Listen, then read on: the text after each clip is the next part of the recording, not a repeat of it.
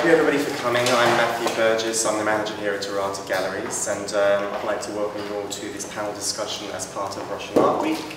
So we're looking at the contemporary side of Russian art as opposed to the auctions things that are happening this week. I know there's some contemporary elements there, but um, we specialise in contemporary Russian art and we're very interested in the future of contemporary Russian art from the Erarta Museum based in St. Petersburg. So it's a lovely panel of uh, people here, experts if you will. We've got some uh, lovely Theodora Clarke and she'll introduce everybody um, here. Thank you very much for coming everybody. So please uh, sit and enjoy. If you'd like to have yourself refreshments during the, the talk then please do. So, thank you. Good morning everyone. Thank you very much to Matthew and Erarta Galleries for hosting us this morning.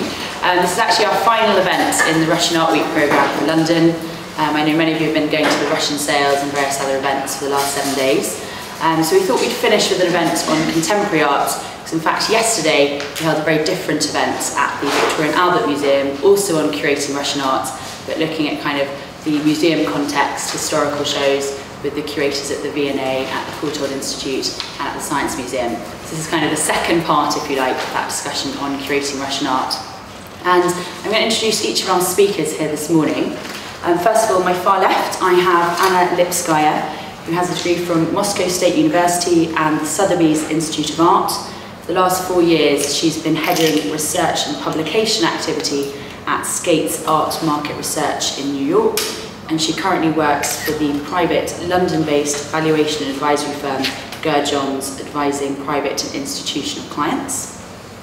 And then on my far left, I have Margarita Trushina, who is a contemporary Russian artist living in London with experience of exhibiting internationally, including the 5th Moscow Biennale and the summer show at the Royal Academy in London. She's an international artist working between London and Moscow and will be exhibiting here at Erarta Galleries in London in early 2015. Then on my right, I have Sasha, who is fresh from Maxim Boxer's exhibition and auction on metaphysics in Russian art is held this week in London. Sasha is a freelance curator between London and Moscow, currently studying for her PhD. She's worked on many projects, including the V&A, the National Contemporary Art Centre in Moscow, and the Moscow Museum of Modern Art. And she also writes for Garage magazine.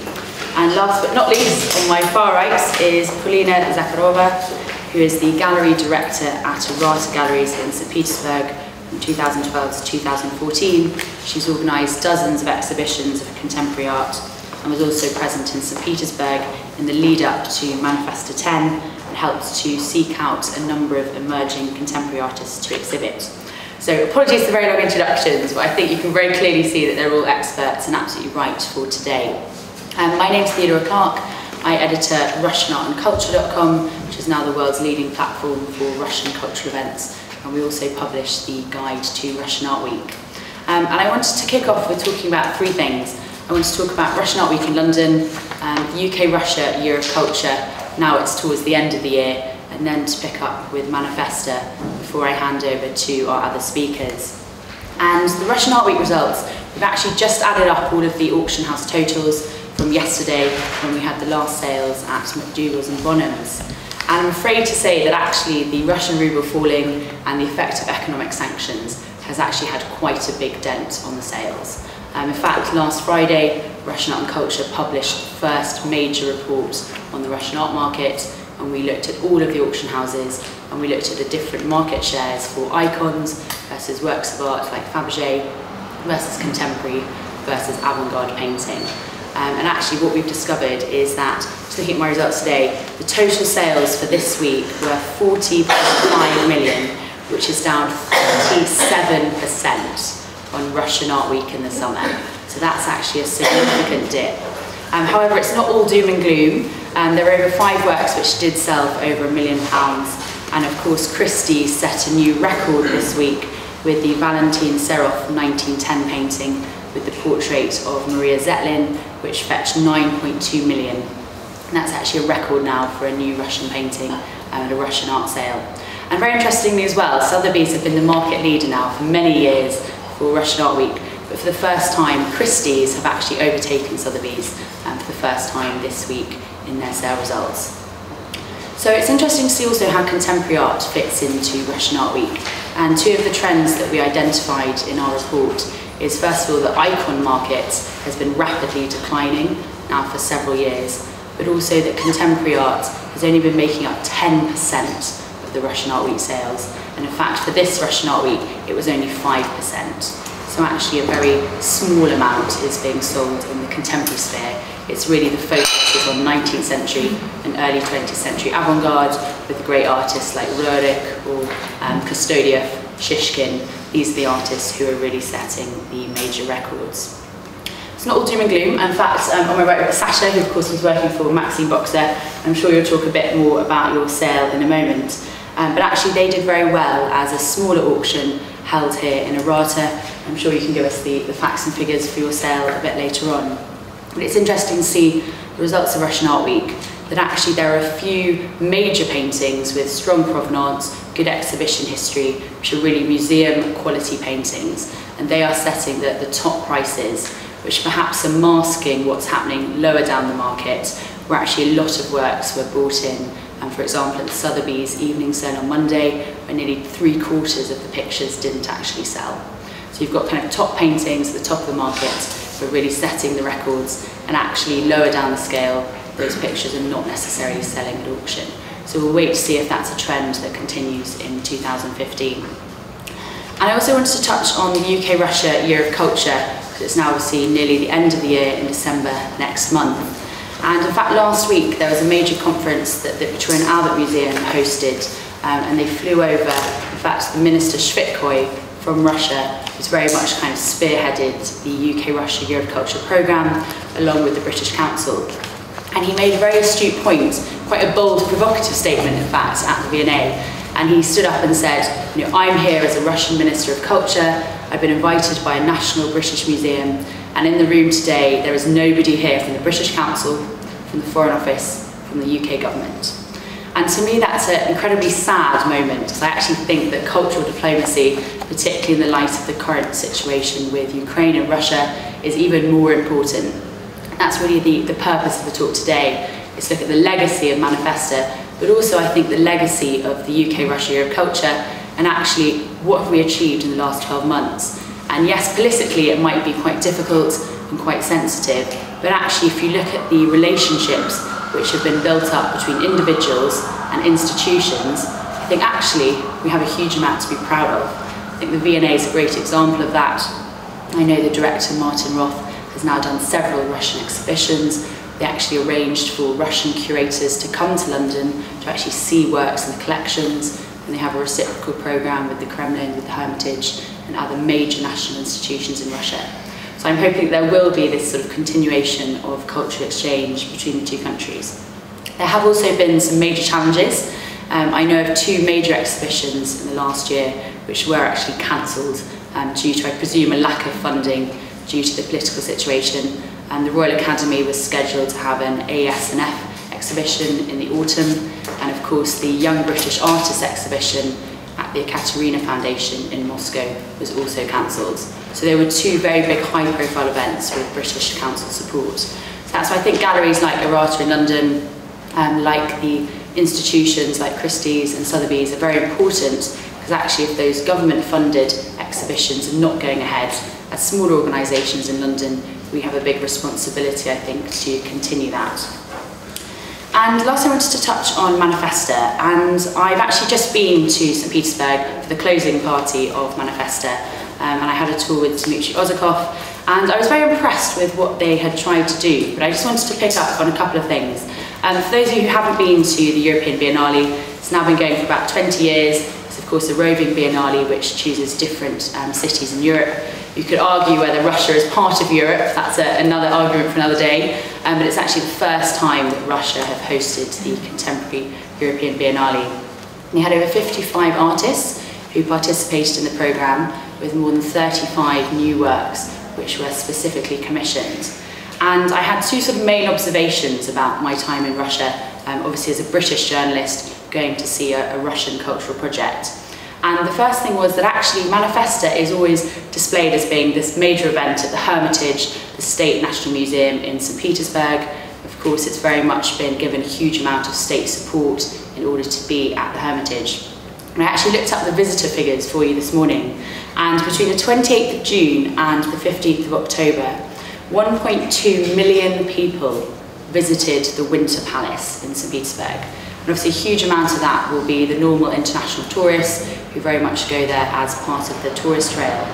But I wonder if any of you know how many people visited the general staff building, which is actually where the majority of the Manifesta events were held.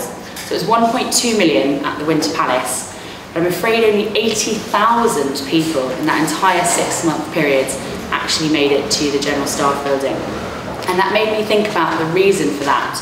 And actually, I think contemporary art is still very much a new concept in Russia.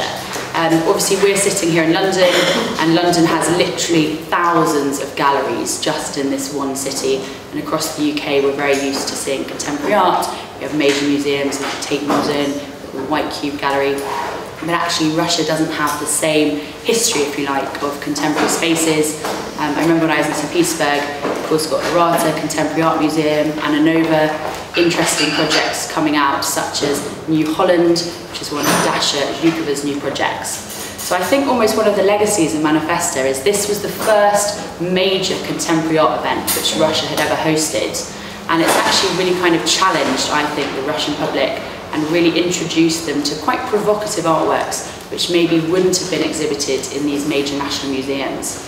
And I always think that when you go to Russia, St. Petersburg is always advertised as this major space where you go to visit really the palaces of the Tsars.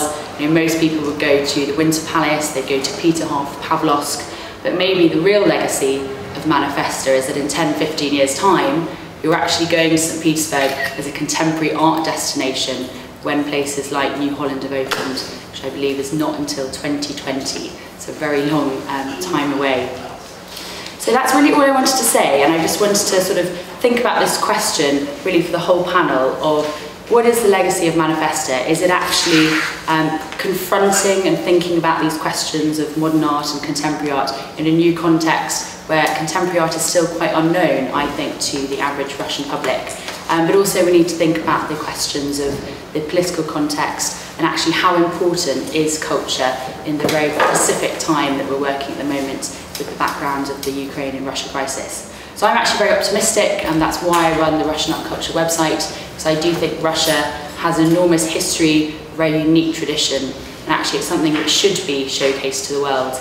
And I just hope that all of us sitting in this room will work on various Russian cultural projects and continue to do our bit to be the cultural diplomats, if you like, of the future to continue the legacy of the projects. So that's really all I wanted to say. Um, and I think our next speaker, I'm going to hand over to Anna Lipskaya, um, who's going to talk, I think, a bit about um, the market and valuation of Russian contemporary art. Well, I just want to say thank you, Theodore, for this wonderful coverage of Manifesta. I attended it as well. And um, as I St. Petersburg born person, for me it was a, such a pleasure to see um, these installations in the main building and uh, new contemporary art uh, juxtaposed with old masters finally. And also the general staff building was filled with high quality installations uh, completely equal to all the art fairs and biennales we see all over the world. And also it was very satisfying to see the small St. Petersburg courtyards filled with dialogues of contemporary artists. It was absolutely brilliant. But um, the question asked to us by Matthew Burgess was about valuations of contemporary Russian art and how to set up the market for contemporary Russian art. Uh, when I was thinking about this question, it reminded me of a story. Around four years ago, I went to St. Petersburg and I met one of my um, one of my childhood friends who finished uh, St. Petersburg University and a very successful lawyer right now.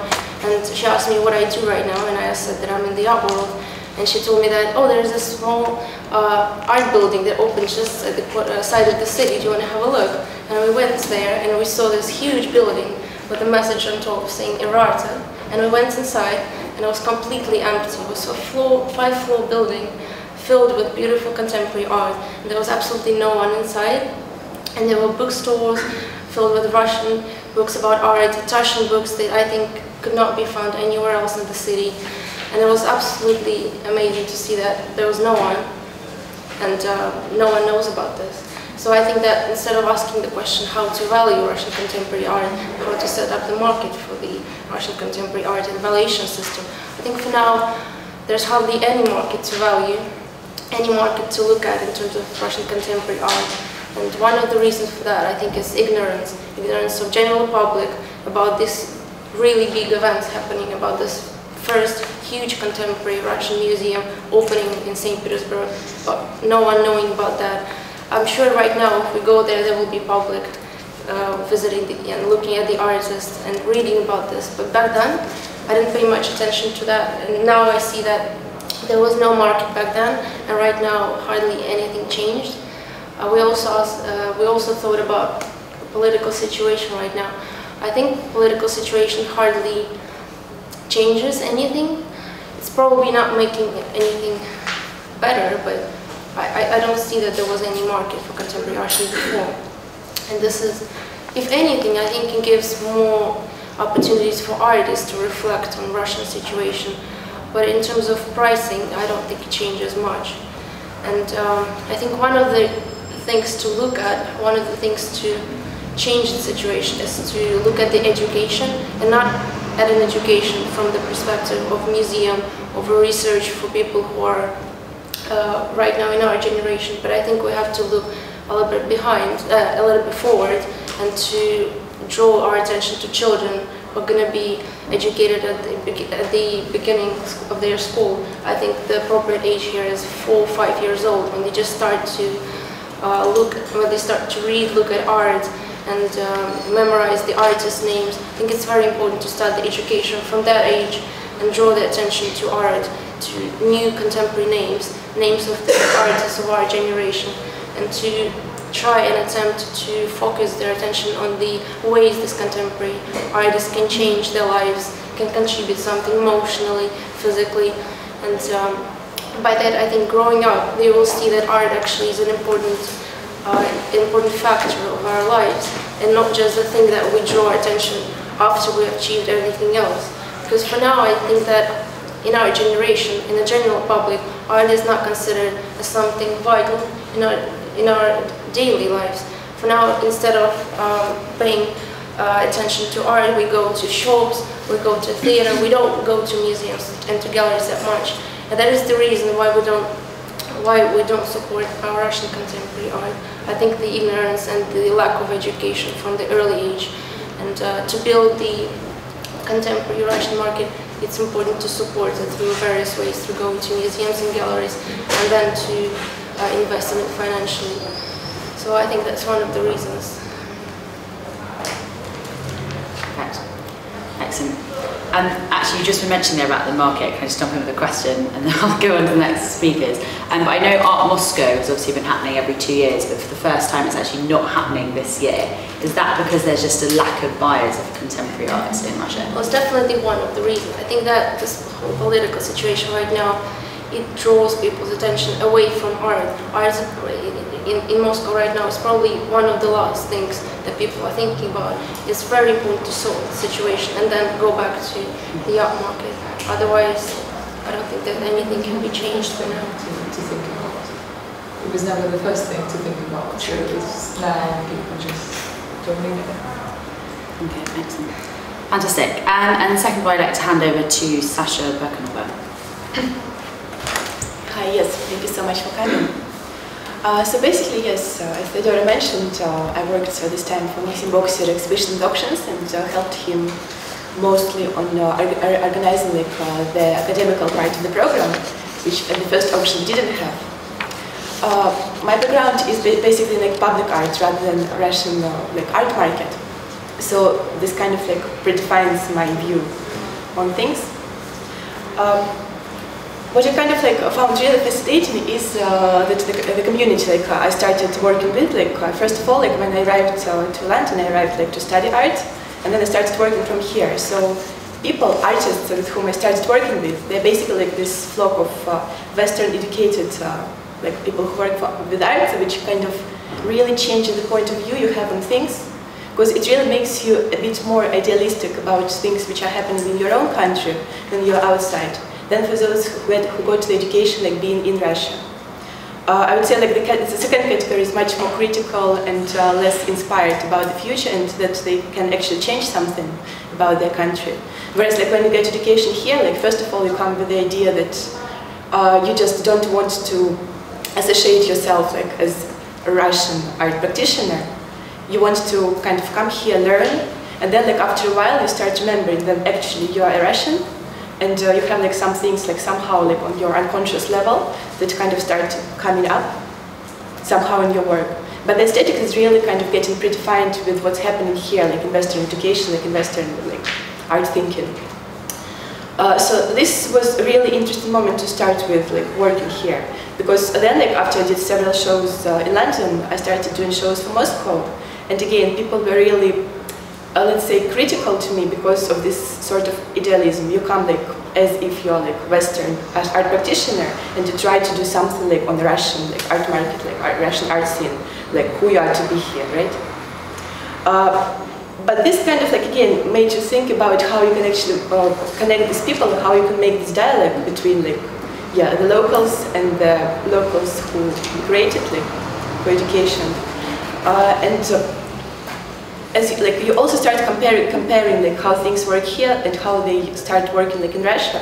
Again, as I said, like I started with public art, so most uh, institutions uh, of like uh, which came from my previous practice, they're not galleries but rather project spaces and museums.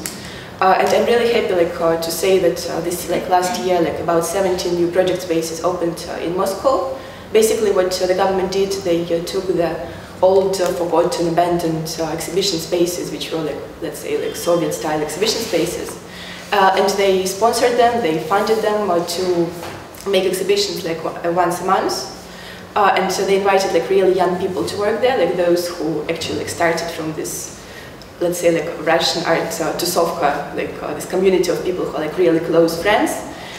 which was really important because these people, as you understand, they start not from the artworks themselves, like just like thinking about what's there. But they started from, you know, like drinking with artists, thinking with artists, basically producing ideas with artists. And that I found like really fascinated that uh, people actually allowed this flock of like really close to artist people to actually decide what will be in their galleries. But here came the second trouble, because the people who give money to make the shows are not from this flock. They're like, as you understand, they're like from government. Uh, and here I had like some, some really kind of strange situations because basically when you write a proposal for a project space in Russia, you kind of, as you know, like as Bulgakov did in his times, you write uh, something in a form that you can deliver to the government, but only those who can read between lines can actually see what you want to say through this show. Um, for example, uh, like one project which didn't work, and so this was my first experience, which kind of like taught me what I did wrong. Um, we, uh, we, like, we, proposed uh, a text uh, and exhibition with the Russian artist and photographer Artyom, Artyom and the project was about Crimea. What I actually loved about this project was that uh, it wasn't, uh, you know, like uh, the point of view on who is wrong, who is right in this conflict, but it was the experience of a person who also works as a like photojournalist for Forbes. It was experience of actually getting on the territory of the country in conflict and kind of like as artist at that point to perceive like uh, how much the attitude on the personal level changes uh, from the country when they know that you're Russian, Russian young man who is, you know, can do something better to them. Uh, this project, uh, uh, it was confirmed first uh, because uh, like the again as I said like the team who is uh, doing like curatorial uh, things in the project space they're like really young they love the idea they thought it's like really something we would like to share so it was confirmed. But then when it came to funding uh, the project was not even like read because they saw this word you know like Crimea no we don't want to deal with this whatever it is about. Uh, so for future like things I was doing with all these like project spaces we kind of made this yeah, like little trick that you first write a proposal, which is basically uh, about uh, what you will see in the show, but what you're going to tell in the show, you don't really kind of expand on that. Because this is like for those who will come, because, forgive me for these words, but the people who give you money, they don't really come to your openings. They don't care. They just need like, you know, like this tick boxes that we have young curators, young artists shown. Done. Um, Also, like uh, speaking about the difficulties, uh, again, like speaking about the comparing, uh, comparing your practice curating like here and curating back to Russia. What I found also like very unfair is uh, that when you do a show in uh, Russia, people really like to bring artists who are like Russians and Western educated. They love Western artists. It's really get like easy to get money for that. But uh, if I start speaking, uh, thinking about I want to take like Russian emerging artists and show it here, here comes the trouble because again maybe it's my lack of experience or research, but I didn't find uh, many places where you can actually from the Ministry, Ministry of Culture you can get money for taking Russian artist and bringing him here. Not even money, not even like a place. I mean, of course we know like Calvert, uh, we know like Pushkin House. Uh, art is a bit different story because I mean you guys need to sell. It's like next step. Yeah, because we need to support our museum as well. Yes, yes, yes. well, I mean, we are part of a non-profit project and we have our galleries to support, from a commercial side, of course, as a gallery, but we try to support our museum as well. So but this like this this step which uh, is really important it's really lacking here now uh, I feel that uh, you know it's, it's quite kind of easy uh, you go to your school or you do your practice you start building yourself as a like art practitioner then you go to like project space uh, you represent yourself there like you oh, like you open yourself to the world people come there from the galleries they notice you they took you to the gallery uh, this second step is really under like underdeveloped like in our country because again, people who go to uh, project spaces, they're friends of the friends of the friends of the friends. We don't meet like uh, many, you know, like galleries there. We don't meet like any people who, you know, say like, you're really cool, I want to take you like to London, let's say, yeah, and to kind of ask you to represent my country.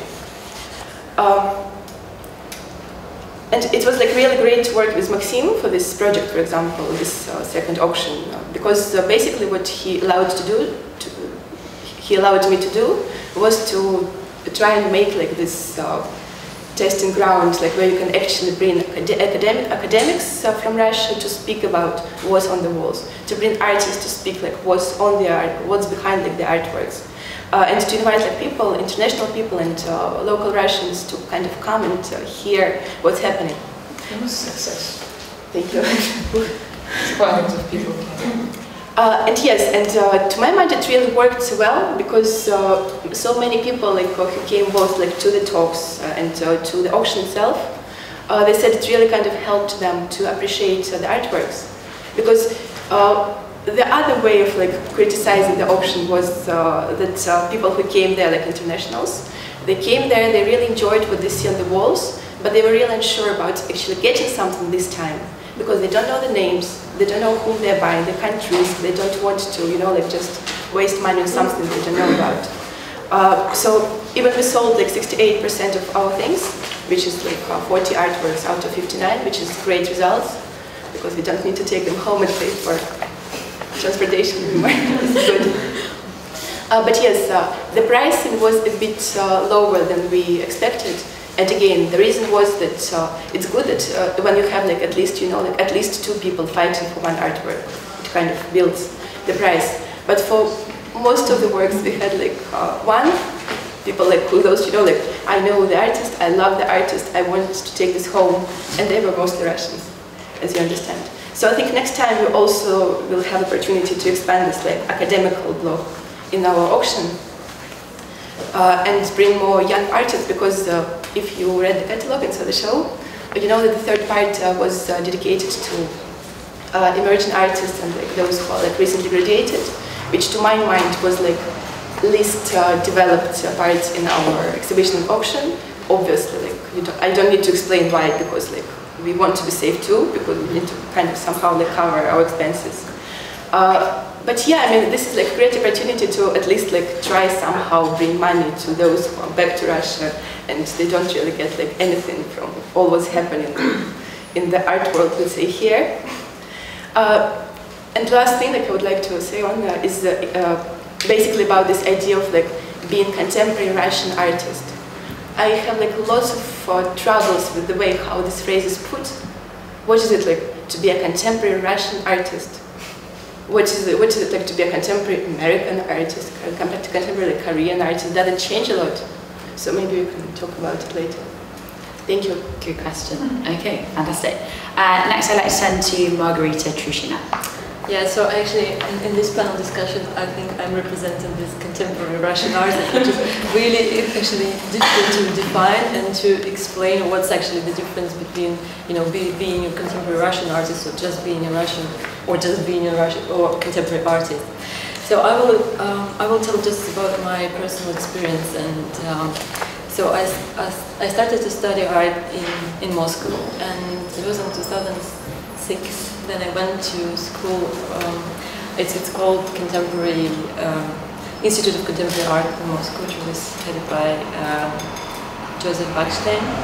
And um, so what I saw there that is um, um, there is no like a proper educational system in Russia for contemporary art, unfortunately.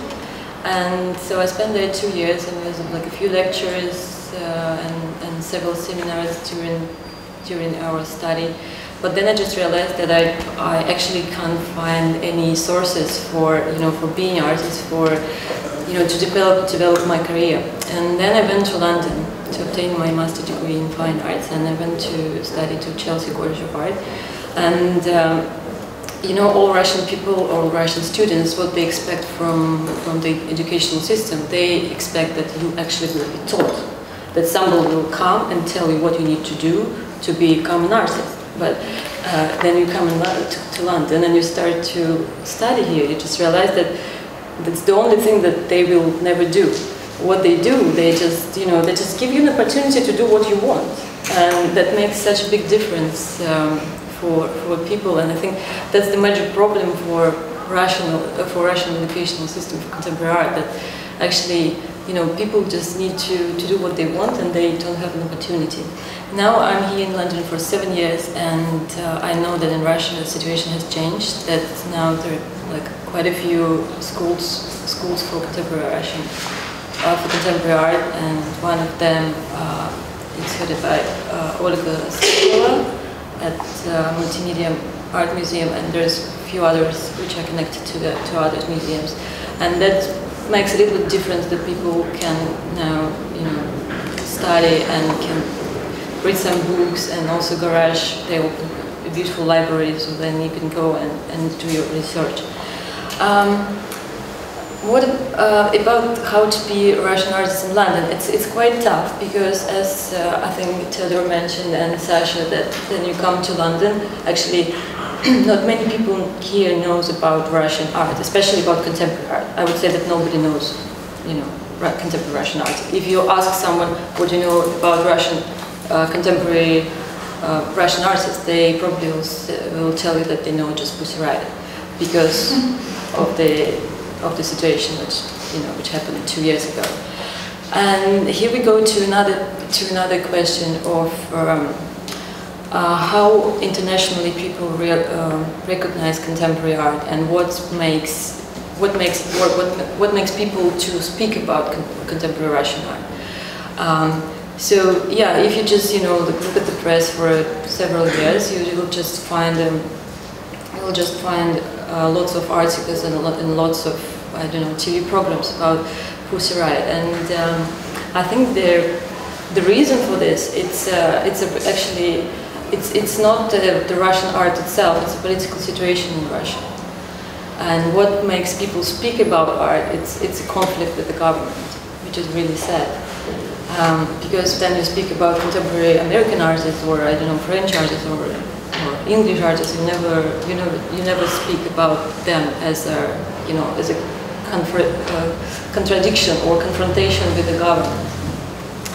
Um, so so when you study art in London as a, as a you know as a Russian student, basically the first year or first two years you want to actually forget that you're Russian because you just want to be an artist, you just want to do something and you don't want to, you know, think about all these bad things that happenings in that country. But anyway, you know, you have your identity and anyway you will come back to, to some point. and in some works, which is, you know, it can be really abstract works or something, anyway you can underline the problems which is existing in contemporary Russian society.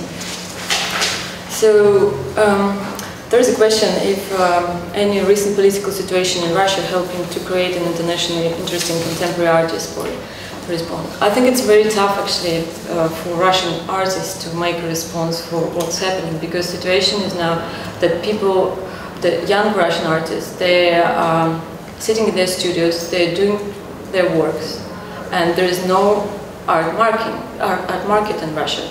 So people who buy Russian art, they normally buy art from, you know, from, like they buy big names.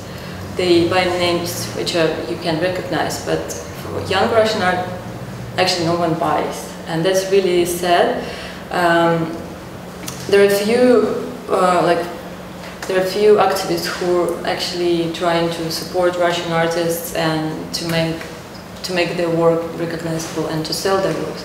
For example, Vladimir Ovcharenko, who is um, having Regina Gallery, he organized Vladey, uh, it's like a small auctions in Moscow, and they normally invite in like maybe one third of all of artists, they invite Russian uh, young artists, and they work um, sells quite well, but there is no practice that you can actually go to the gallery for the opening of young Russian artists and somebody buys work. I don't know. I think it's maybe happens, but it's, it's not really often happens.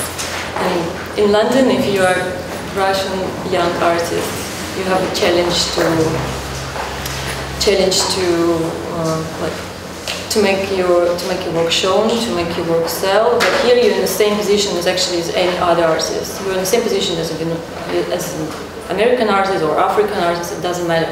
You're just an artist and you're just making your work, which is I think it's a healthy situation. And thank you for everyone who is you know who's supporting Russian art and Russian artists and make things easier for us.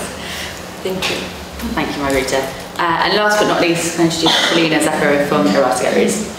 Thank you so much for coming, and I really appreciate that you all came here and spent your morning with us and yeah, raising these questions. There's actually one question I want to ask you guys. Um, are you, who is buying art here? Raise your hands. Who is buying contemporary art? And now who is buying Russian contemporary art?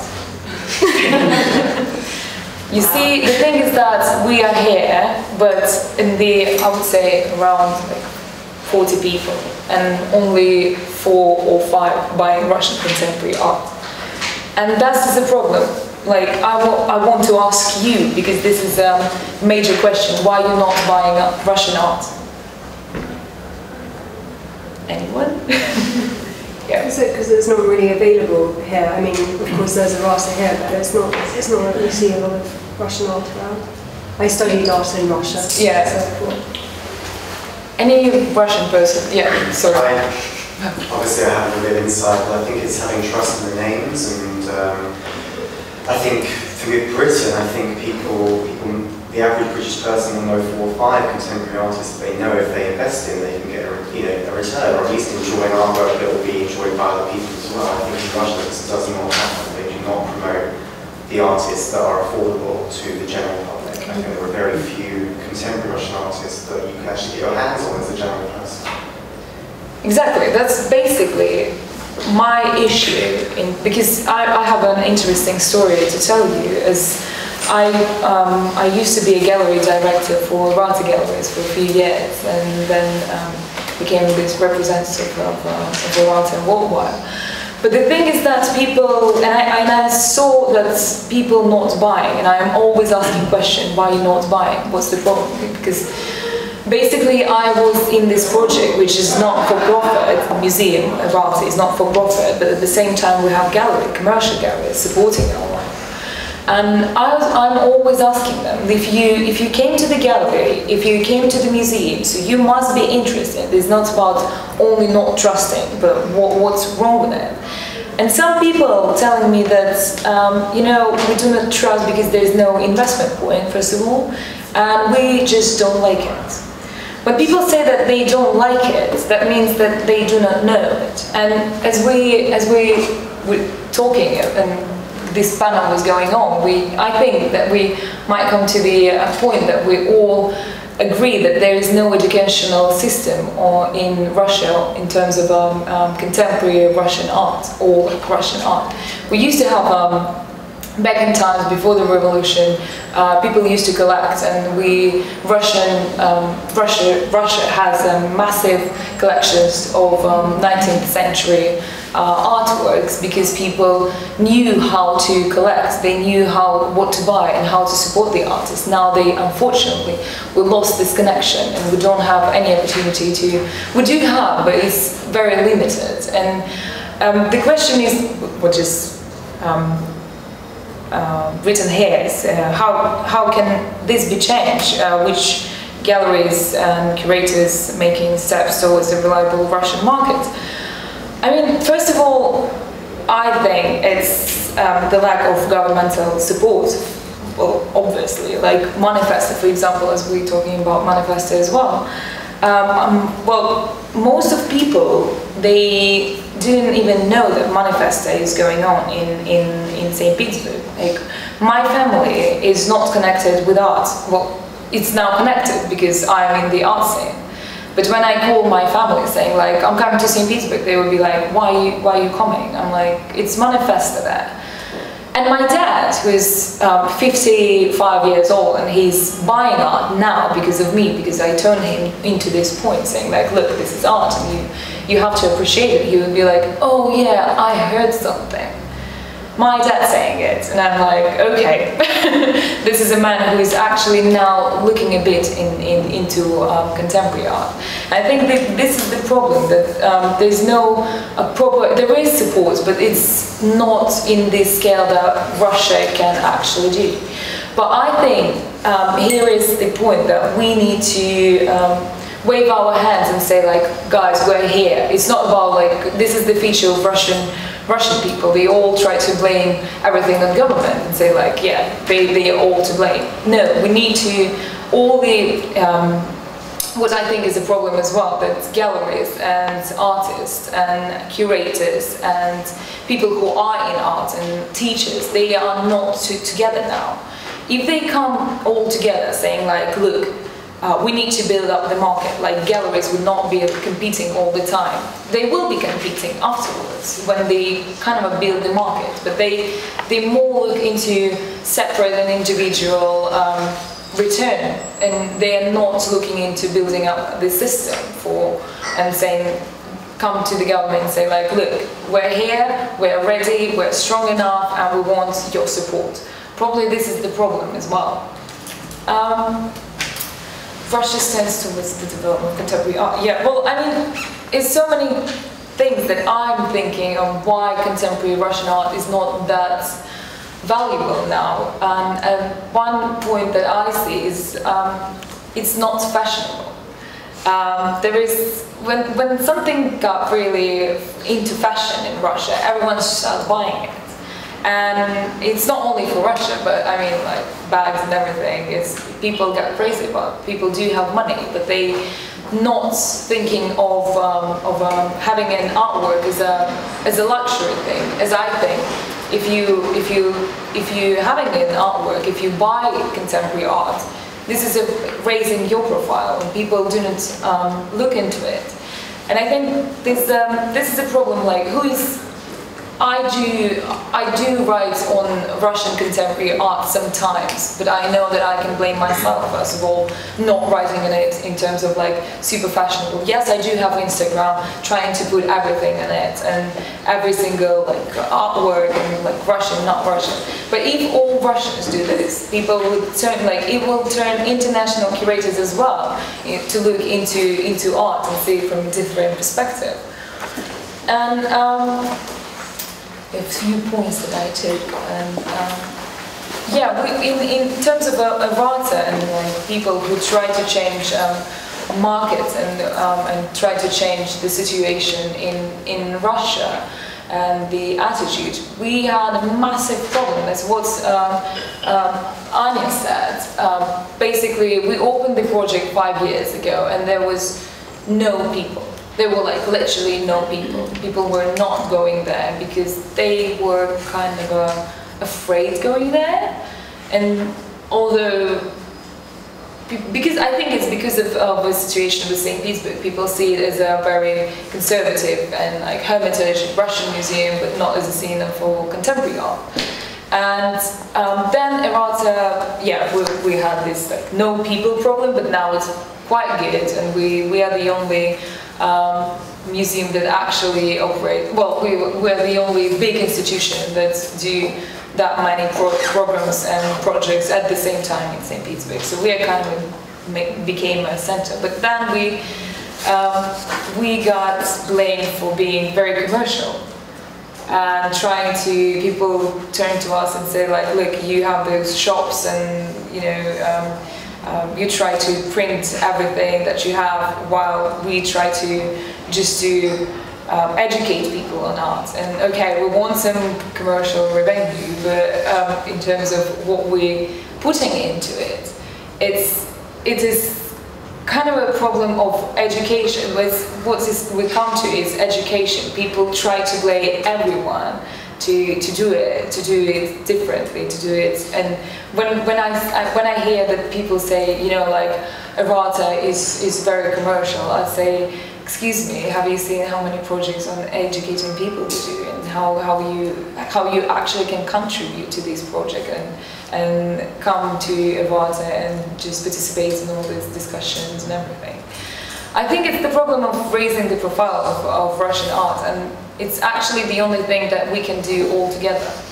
It's not about, um, and it's first of all, it's about like bringing it to children, and we have this large program and large project called Bibi Square, where we had this uh, cartoon made on yeah, Bibi Square and Kandinsky Square for, for children. And we need to start from, from children to, to raise the profile of, uh, of contemporary art. But at the same time, um, I'm looking into, I do know a lot of people who buy Russian contemporary art because I, well, I used to sell the, the Russian artworks, but I know that there are lots of new collectors, but we need a different approach to them. They, they are traveling people, they are, you know, fun people, they, um, they didn't have these uh, problems that um, um, an elder generation had, and they're now quite ready to spend money on, on art, but they want to, they see it as a very conservative thing to do. And, um, yeah. I was just also thinking that it's, it's very important to ask the question, why should we buy contemporary art? What are the reasons of us supporting our nationality in terms of art segment? Currently, I think that Russian contemporary artists, these are the people who raise the questions that disturb us, the questions that interest us, fascinate us, and we are the people who can understand it. It's like with contemporary literature, with contemporary theater of Russia, we are the people who uh, understand it, who easily understand it. And if we don't support it, if we don't pay attention, if we don't take a special extra effort of reading about it, of understanding it and talking about it, then it has no chance of going abroad, of building a market abroad. So it's just the same as with, for example, Malevich Black Square. I'm sure that a majority of Russian people still don't understand uh, Malevich Black Square and if we're still stuck in the 20th century, there's no chance of moving on. And unfortunately, it takes a, a lot of efforts of reading and researching about art, and that's what lots of people still, not, still don't understand. They think that art is only about the visual aspect. Yeah, but at the same time, there is no uh, no one actually covering on Russian contemporary art. Who is covering on Russian contemporary? It's another Russian issue. It's another issue of research and academic research and artworks. I can see, for example, the Gagosian Gallery spending a lot of time and financial sources of writing huge academic dissertations of the artists, of the, of the artworks they support. And um, I don't, unfortunately, I don't see this happening in our country up until now because it's a special aspect that needs to be. Yeah, and the thing, the problem is that I see that people who are in arts, they try to be quite washed, you know, and there is um, a bit of a reluctance of um, institution in terms of contemporary art. They turn away from it because they they try to be like they don't want a new place into it, and that's the problem with the. I think with at the same time, like uh, my first degree lies in uh, cross-cultural communication, and I see the problem in Russian society that we don't want to be connected with it, in in terms of like being a big and like enjoy our country and love our country. I see the lack of interest to it. But when we turn to it, I think then our Russian artworks will be highly appreciated internationally. And when people come and say like, yeah, I, I heard about Erarta because um, a Russian person told me that I need to go there and have a look at it because you actually guys are not that Soviet Union. Like, excuse me? People do see Russian Russian art as the um, as a step back towards you know like Soviet Union, but we are not Soviet Union anymore. We have a new emerging artists, new curators, new, and I think that we all need to put into this um, efforts into into promoting it. But at the same time, I see that um, you you talk about the public art, and I see this one of the ways to educate people and to to bring a new vision of art to, to people. Like, uh, for example, I, I worked on uh, Pulkovo, Pulkovo project, the new um, terminal um, airport, and we put those four leaders um, in different poses in, in, in the terminal. And you know, people respond. It was quite interesting to see people responses and some, some, some people say that Russian society is not ready for, for art. It is very ready because we had so much feedbacks on it. We, if, you, if you look into, if you, you know, hashtag Pulkovo, all you see is those ladies. People like it, but at the same time they might not like it, but they, they have the feeling for it. So um, I think that people should now turn into promoting more of a public art because when you see this everywhere, and when you see in London, you go and you see art everywhere, literally everywhere. In Russia, when you go out, you'll be like, oh my god, there's an artwork, what is it doing here?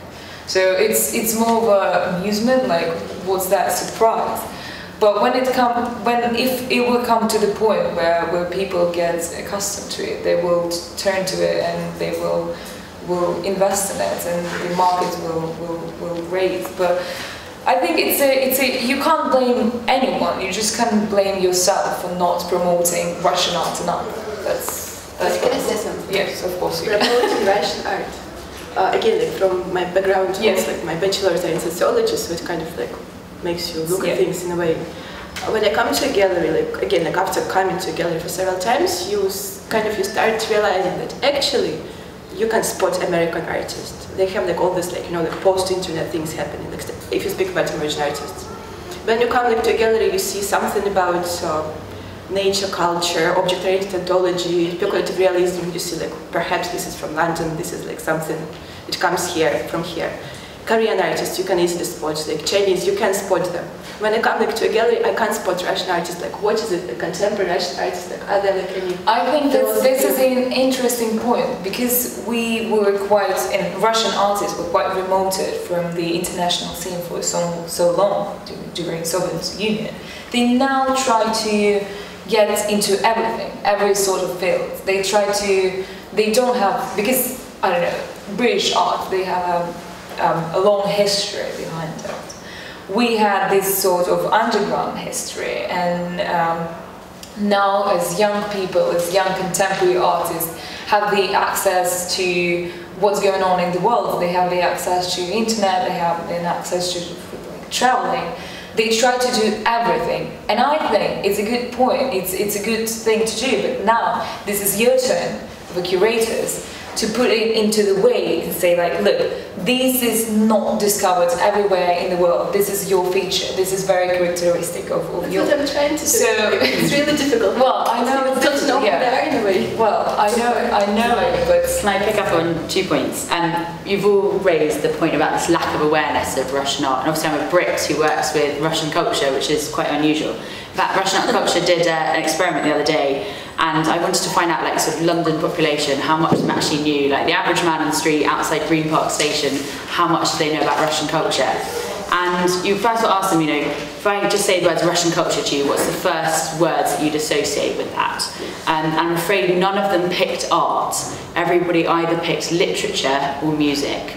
And it was the really famous kind of uh, historical figures like Tolstoy, or it was Rimsky-Korsakov or Tchaikovsky, Swan Lake um, but actually no one picked an artist.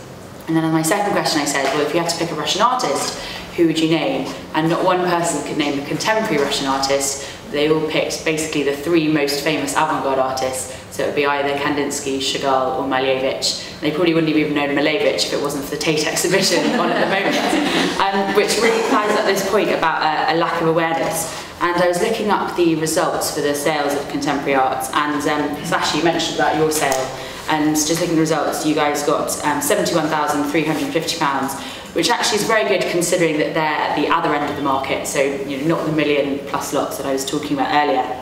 And then Sotheby's have had their second sale of contemporary Eastern art, and that got 1.1 million pounds. Um, but bearing in mind that the whole total for Russian Art Week was actually 40.5, you can see what an incredibly small proportion, basically one out of 40 million, is what's being spent on contemporary art.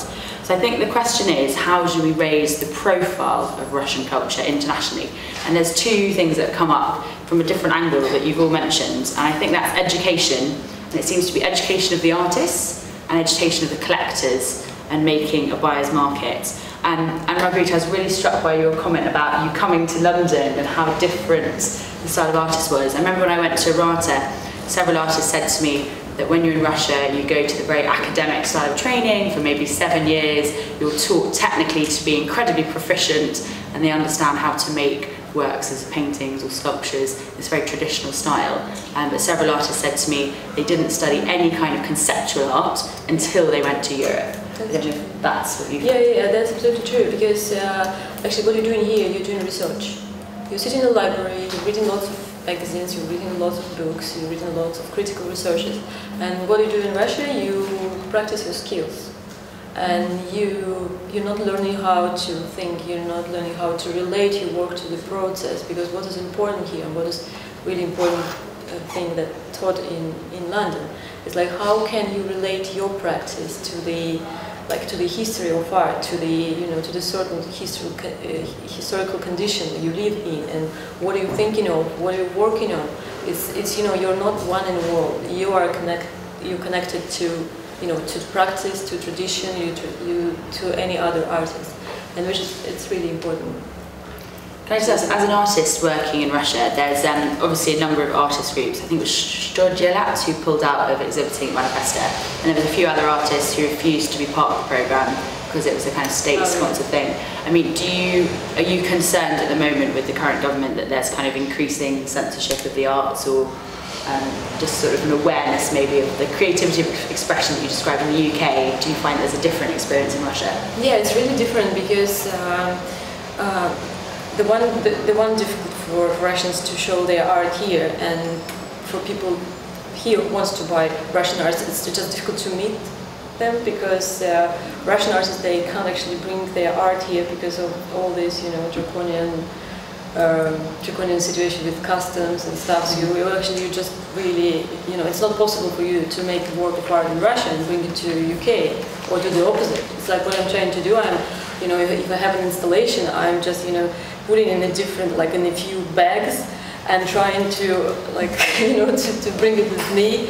And it's, it's not a normal situation and um, no help. And you always need to, you know, to be clever to find a way how you, you know, how you, how you want to show your work. And Anna, you obviously advise lots of um, clients on buying, and we've all raised this point about education of the collectors. I mean, how do you think is the best way for Russian contemporary art market to grow in terms of actually educating collectors? Because as you say, obviously if we're at school in the UK, we're taught about Damien Hirst and young British artists, and we're taught about conceptualism. Maybe that's not something that's part of the Russian education system. So how do we actually go about educating the next generation of collectors to want to buy contemporary art? Well, unfortunately, it's a very long-term process. It doesn't happen overnight. Sometimes, even after years and years of attending museums and galleries, it still doesn't lead to buying. Because I, I can see that lots of people right now, even after trying to understand the art and being interested in it, they still don't end up buying it. So for now, it's a very complicated issue. To, um, but I think it still still has to be the viewings, the readings. It takes a lot of time and personal effort of a person, not only the, person who teaches you to understand art, but your personal effort on your own. So I think that's the core of yeah, idea. Maybe I'll say in it. uh, it's kind of also about developing a certain language and certain uh, kind of respect of each other in a way, because quite often you have the situation like uh, when artists they don't really respect their collectors as you know like as personalities, as people who do things. They kind of like you kind of like yeah you kind of need their money to survive, but you don't really kind of respect mm -hmm. their taste a lot in a way, and the other way around as well. Like uh, it's kind of uh, uh, the collectors they don't really uh, spend much enough time with artists. Basically, you know, like just not on business way, but just like you know, like talking, meeting their families, looking like at their life in order to understand like why this art uh, is in a way how it comes up? Well, I think, you know, this is an interesting question, but at the same time you need, to, um, knowing a Russian scene, I know that people who have money, they must be very much interested, but not from the point of, uh, at first, not from the point of a, of a very um, academic point of view, but from the fun point of view, from the very, like, you need to get them to appreciate it. And in this term, I think Margo has um, massive project that actually bring a lot of attention to of people to look at art as a as a completely different experience because Margo whole yeah can yeah, you maybe I'll explain a little bit. Um, so a few years ago we decided to organize a festival a festival of arts and music and and it's also a masquerade. So basically because it's so difficult for example if you're um, you know if you participate in an art project and you invite people to come and see uh, you know your work or work of your friends um, it's you know it's like maybe 100 people will come for a night that's the maximum but what we decided to do we decided to organize a festival which is actually combining you know all all the people likes. Music, art, um, dressing up, party, like all the aspects which actually make people go out. And so that festival called Midsummer Night Dream, and we started in Russia, in Moscow, and we started it from the, like it was a festival for 500 people, for friends, and now it's a festival for 5,000 people. And so two years ago we launched the first one in London, and we started from a small number as well, it was 300. And so this year it was 1,500 people. And what I'm doing, I'm uh, inviting artists, Russian artists and English artists, international artists, to participate in this project and to bring some um, art. Uh, it's um, it could be it could be um, performance art. It could be sculptures, it could be sound art, but what I'm trying to do, I'm trying to make people collaborate with the, uh, in uh, between the dis different disciplines. For example, musicians collaborating with artists and artists collaborating with the fashion designers, and that makes people, you know, uh, come and enjoy art, and they actually it's a really good response, and I think it's it's one of the ways how you can yes, raise an awareness. exactly, and that's the thing that people. I know a lot of people from Moscow who go to the event, and they would be the first time they would be like, "Oh my God, this is amazing!" Just dress up. The next year they're going, they're actually thinking about their costume, what's going on, and like try to get the actually history of into history of art to find a, uh, someone a different person to, to, to dress in or something. But then, when I tell them it's going to be an exhibition of Margo, uh, Margo's artworks in, in London, they're quite excited because they know what she's doing and what, what kind of art she's bringing to the world. So, I mean, this is a great connection for, for new collectors to, to pay attention on, in, into art. But it, can, it shouldn't be not in their life, it's actually their life as well, and they can be part of it. Can I just pick up on something that, and I think contemporary art also is much more collaborative and interactive. Oh, yes. Um, and if I give the example of Manifesta, if you go into the Winter Palace, um, to be honest, you would have had absolutely no idea, I don't think, the Manifesta was on. I was the only person walking around with an orange map that I could see in the whole museum. Yeah. Um, and they, Kasper Koenig, the curator, called them interventions but actually they weren't remotely provocative and you probably wouldn't have even noticed. They had some um, small photographs, which are actually very interesting, which showed images of the, the great sort of galleries of the European um, classical painting um, and they showed empty photograph frames. You could see kind of a contemporary view, but with none of the paintings actually shown in the wall, and they were black and white photographs juxtaposed in the actual room with the real paintings um, by, say, Rembrandt or Van Dyck in the wall. But actually, it was very difficult to find these kind of manifesto moments, I thought, in the Winter Palace. And I always felt that they didn't want to be provocative and they didn't want to kind of challenge the, the normal visitors, that 1.2 million who came to the Winter Palace during the time of manifesto.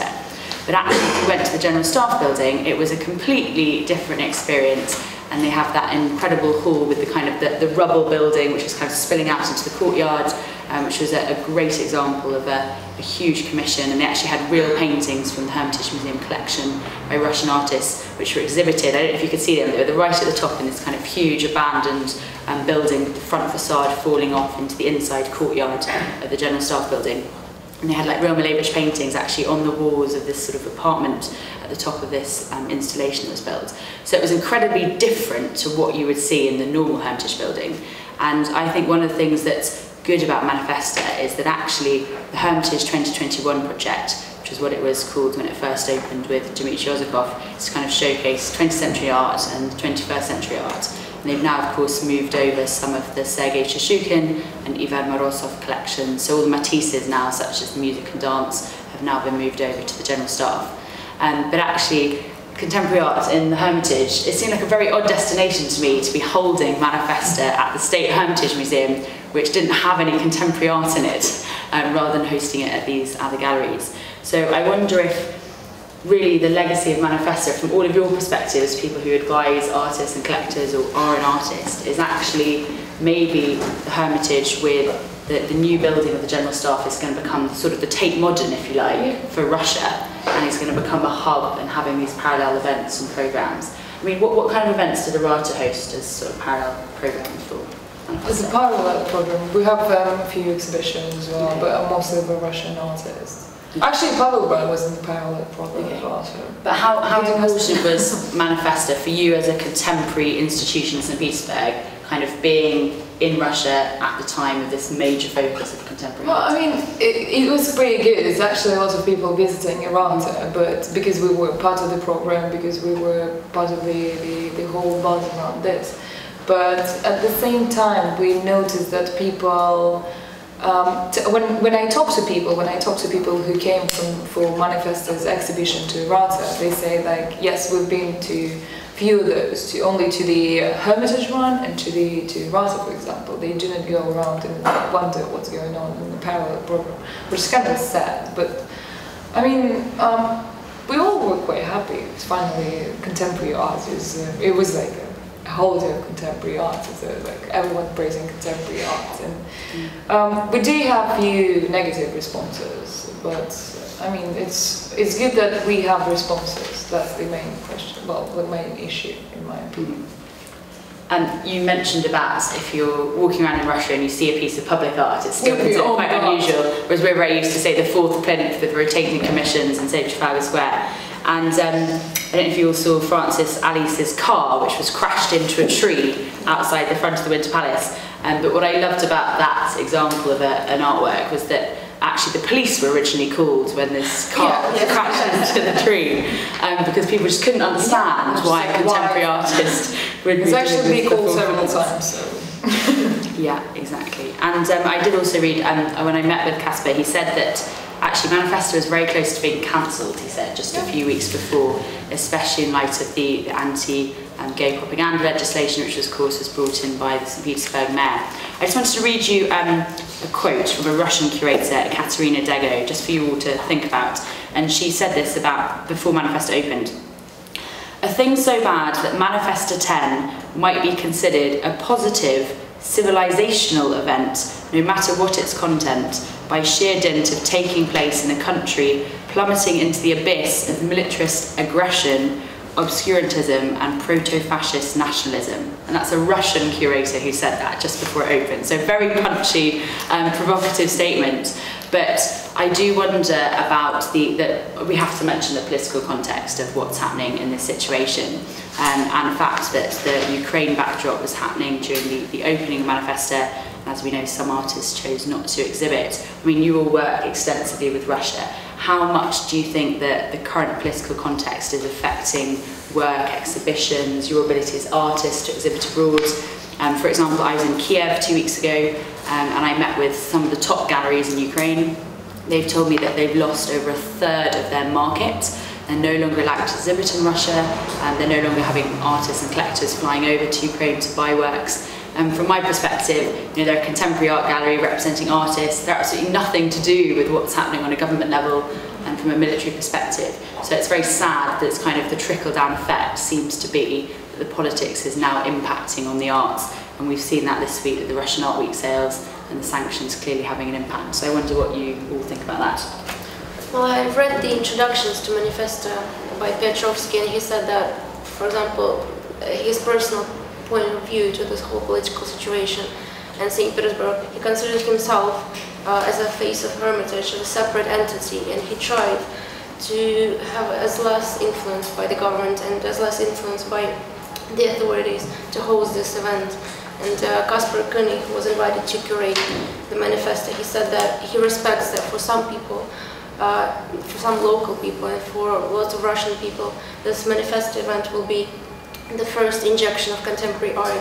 So he tried to do very subtle. He tried to install contemporary art pieces into the main building uh, very quietly and so that they don't interfere with old masters, uh, don't interfere with people's perception of art. So I think that's, that's very brave of them to proceed with the event and to try to do it very politely to invite foreign artists and let them speak and let them give let them show what they think about the whole thing. But I remember that lots of artists actually signed a petition against uh, Manifesta and um, uh, artist group from St. Petersburg called uh, or What to Do, uh, they uh, they send petitions uh, so that it's like if you are if you are artists you shouldn't participate in Manifesta because of this uh, anti anti gay uh, law propaganda and because of the political situation. And I know that there are many artists who actually signed the petition, but then um, another group of artists appeared who said that guys, that's the only way to actually have a communication, and that's the only way, you know, to say that we exist. That we are, if we, you know, if you say we are not going to participate, if we will, um, if we will be against this uh, Manifesta, then at the final we will, you know, we will just disappear. And that's the only way of communication, actually, of the civic way to talk about the problems and to, you know, to raise an awareness of what's going on. And I think in this way, especially about this uh, anti-gay law propaganda or any other questions, they're actually raising by artists and by art, and then you have this contradiction that helps. So I don't know, but Manifesta, everyone says that it was really like made in a safe way, that it would be much more provocative, and due to you know regulation and due to policies, it was really kind of you know tight and clean. Maybe it was provocative for Russia, but it would have been less provocative in, say, New York Yeah, or, or London. We've got a question here. I wanted to ask yourself, Theodora Margo, do you see a problem, is it Manifesta's problem or is it the Russian government's problem? Is it kind of, the Russian government used Manifesta as a tool to control art in the city? They knew, like you were saying, Margo, that artists had to come to this stage to appear internationally. There were international people that travelled from Europe to go see this thing, but in a way it was controlled by the Russian government. And if you were uh, you know, an art lover like myself, to go over to Russia and wanted to see certain artists and to be refused to see them or to, to find out that they didn't want to um, exhibit because of Russian sanctions, would that be the same case if it was in France or Germany? Like, is this a, is this a Russian problem? Is it the Russian government or is it manifested problem? That's a really interesting point which you there about perception of Russia. And actually that was my initial thoughts before I got on the plane and went to St. Petersburg. And that really flags up for me the, the dichotomy between the reality in Russia and what you probably see on the BBC News and what you read about in the Times newspaper. And there's not necessarily a, a matching up of the, the reality on the ground. Um, so I was very concerned before I went to Russia that absolutely there was censorship of the arts. Manifesta was being used as a very political pawn, if you like, um, by the Russian government.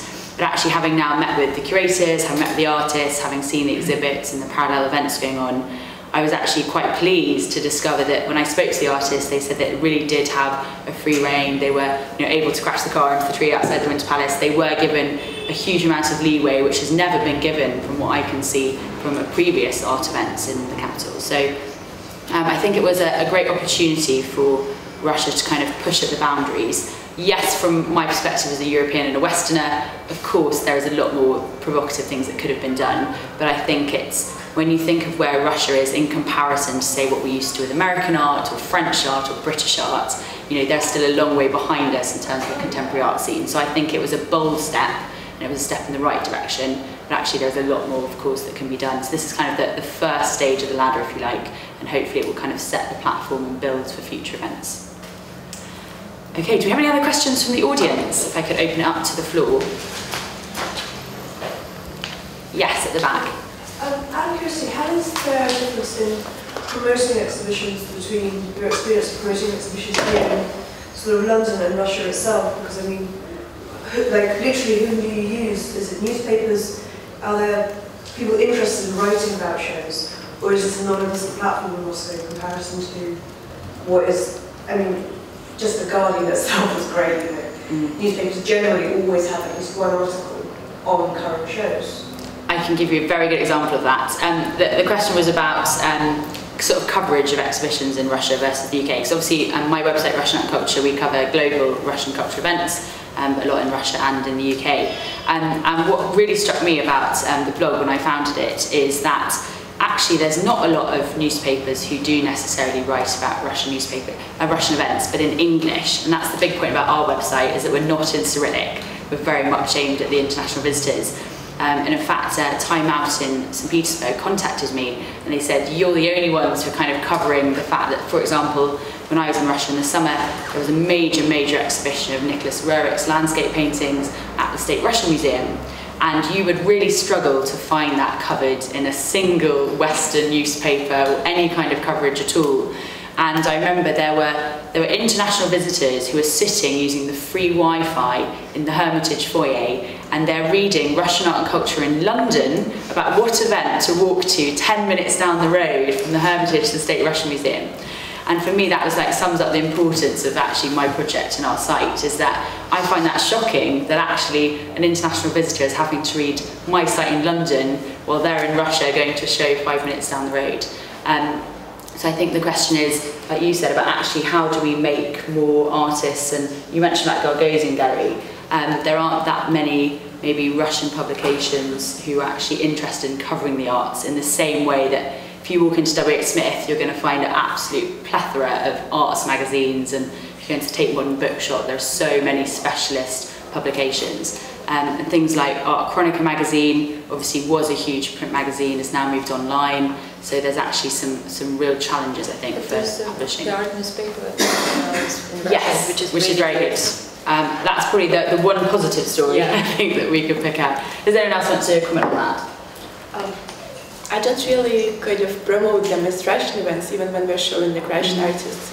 Uh, it's often like, you know, like uh, the deal is, uh, again, being Russian, working with Russians, you don't stop on this idea of identity, but you try to find uh, the subjects which can be understood as Russians, like again, speaking about the philosophy, speaking about like uh, perception yourself, like in the global world. But I don't really advertise my events like as Russian events.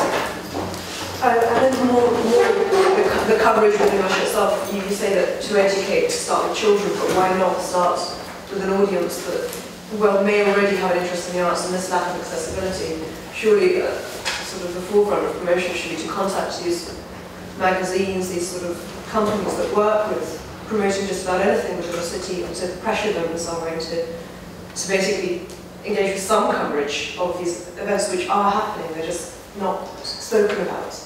I, can I just point out something about that? And that really, I think, from my perspective as a Westerner, that really points out the dichotomy between what I call a Russian state institution and someone like Erarta, which is privately owned and is contemporary focused. So I say something like Erarta is everything's bilingual, you have a very, very strong social media presence, they do a lot on Facebook and Twitter, you do get lots of sort of younger people coming to your museum because you're very kind of interactive. Um, but if I go to say the State Russian Museum, they have like the worst website I've ever seen. They don't have a searchable online collection in English. Um, yes, I mean the Hermitage launched a new website, Manifesta, which half the links didn't even work, um, and yeah, it has a lot to do. So I think it's a question of also you're dealing with major state institutions who maybe just don't have the kind of young curators that you were talking about for those new galleries in Moscow who are kind of open to new ideas and using social media. I mean, what ideas do you have for how they can change? Uh, I mean, a few years ago I started sort of looking into a sort of contemporary art in Russia in general, and I was a first year student from here at London University. They came to Moscow expecting to see the same amount of information available. Mhm. Um, and I ended up in a rather large argument with the bookstore going, can I have a book on contemporary art of any shape or form? I'd sort of lost faith in finding anything in Russian art. And she directed me and went, but we have Malevich. and it was, it was about contemporary, and, and she just, uh, and this is someone who, who had a huge section of art mm-hmm. books, who actually had no idea what I was even trying to say to her or look for in any way. Um, and I think maybe to create sort of groups or events to educate those who are already educating, not necessarily the children themselves, but for actually for teachers, for people who own these stores, museums, to, to even have some I can think of four, four examples who are the step in the right direction that you're talking about. Um, I think Calvert 22, we must mention, who are based in London. I think Nonna Materkova has done a fantastic job of promoting Russian art, um, contemporary art in particular, and not just in St. Petersburg and Moscow, but actually cities right the way across Russia and Siberia or the Urals, or places which maybe are not covered like Perm um, or some of the other cities. Um, I don't know if you've seen the art guide, which is published in Russia, and that's quite good, which does listings of events. And of course, you've got Vinzavod, in Moscow, you've got Garage. I'd say these are kind of the, the new sites, if you like, which are becoming the promoters of contemporary art. But we need to replicate them on a much larger scale. But you know, there's a few um, projects like Door 19, which is a restaurant, but they put um, an artwork there and like pop up, and they did. It, the people came there. I know they came there because of art, not only because of food, because of art, because they knew there's a contemporary Russian artist as well as long as like international artists. So there are few few things that are not only into like very institutional level, but at the same time like, for the kind of a general public on on on yeah. So. Sorry, you've got another question? Yes. Please carry on. Oh ask. no, that's that's okay. It was just Um, okay, well my question is sort of to Margarita and to Sasha, um, and I'm finding it quite difficult to formulate because there are lots of different elements within it. But the basic question is how useful is this disconnect between uh, the art production and everything else? And the second part of the question is um, if the market provided a connecting force between the art produced and the outside world, would this uh, change in some ways the art that is being produced?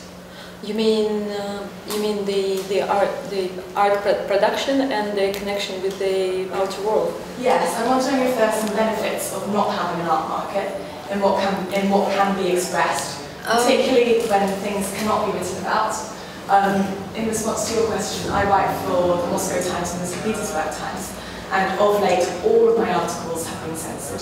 I wrote uh, about Manifesta. It was my argument was completely changed to the extent that I need to ask them to take my name off it because it's become uh, it's become quite a critical piece, and the argument's just been taken out. Um, with this removal of what is, and the BBC is not representing what's happening in Russia at all, um, there is a complete disconnect of information. Um, and I'm wondering, one, what would the function of the market be? Would that be a connecting force, and how would that affect the work that was being produced? Sorry to hear about that, about your editing your work. Yeah, I think actually to be outside of Russia and making art, I definitely would say there is advantages because you are you are free to do what you want to do and you are free to express yourself. But the point is that even if you do that, there will be no coverage in Russia. For example, two years ago, um, I made a project that was uh, in the support of uh, Pussy Riot. It was a site-specific project in Berlin, in the uh, former uh, in the former women's prison. And so I've done this project, and it actually had really like you know good response, and there were lots of press from Berlin and like international press. There was no one write about this in Russia. So it's kind of you know it's you're you're in a way disconnected if you are you know to making your art and if it's politically like politically not um, relate. not really like not not not going in that direction that it's you know that it's supposed to be then you will be just you know you'll be just unknown and no one will speak about that and that's that's the problem. So in this way, it's better to be disconnected with Russia in making art.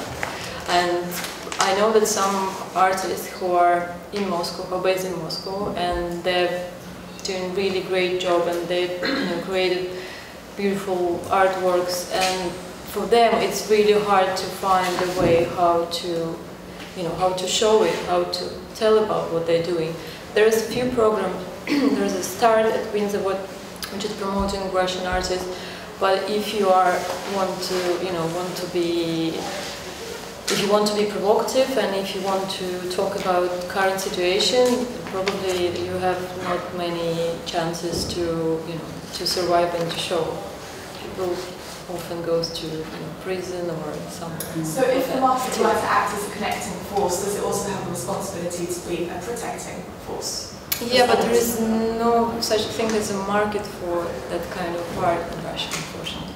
I don't know, maybe Sasha can yeah, it's really interesting. I mean, I really understand what you're talking about uh, in the way of censorship. Because as I just mentioned, uh, speaking before, uh, you always write two proposals. You just like write two, and then you somehow like link them together, thinking about okay, like what would my editor think about this, and like what she would read about it, and what I actually want to say, and if I can ever like develop, you know, like this a bit punk approach, you develop this secret language, which uh, you in your like underground parties, like you deliver like this kind of the knowledge of this language to your visitors, to your audience, you build your audience, and then like uh, you kind of shipper your message like into the proposal, you deliver it to the government uh, institution like who is going to pay for that to make it. And this is kind of like then you come to the exhibition and they're like, you know what I mean. I have a really fun example of what's going on. A few years ago I had a project, it was a rainbow, it was like a shimmering rainbow in a night sky. It was a site-specific installation, and I proposed it for um, uh, the uh, as a public as a public art event for the museum night in Moscow two years ago. And at the beginning, like everyone was hands up for that, and it was like you know going really well. But then suddenly, a curator she came to me and says, you know what? Yeah, that one. And she said, you know what, we can't do this. And I said, why? And they said, because it's a rainbow and it symbolizes LGBT.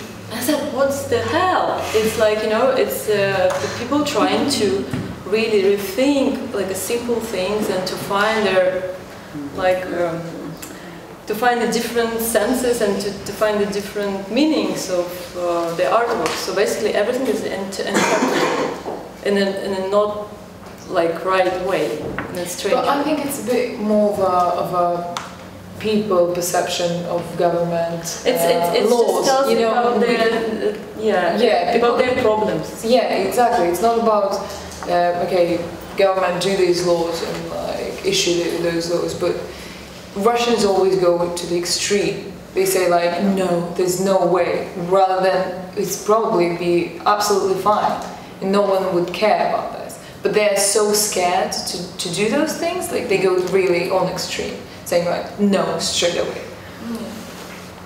Um, I was really struck by the audience members' comments about censorship in Russia because um, I'm obviously a British journalist, but I also write for Russia Beyond Headlines, and I've actually never been censored and never had any of my articles, and that's published by a state Russian newspaper. And I've not shied away from writing about the political situation so I'd be interested to talk to you afterwards. Um, but also that's raises a really valid point about censorship in Russia and I know that the um, the government changed the law recently. Is it? I think it's a blog now. If It has over 5,000 readers. Has to be reported to the Russian government. Um, so obviously, Russian art and culture, we would fit into that, and obviously we cover Pussy Riot coming to the UK last week and other things which might be deemed politically sensitive.